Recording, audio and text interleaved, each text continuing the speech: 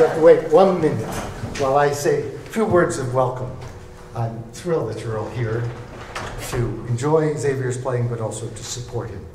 Uh, he's a remarkable young man and has turned into a, a real young artist, which you'll hear. Um, those of you who know, have known Xavier for a long time, I know will be exceedingly proud of what he's achieved. And this is what I'd like to tell his father, who's normally in tears after he plays. This is only the beginning. You just went. So let's hear it for Xavier.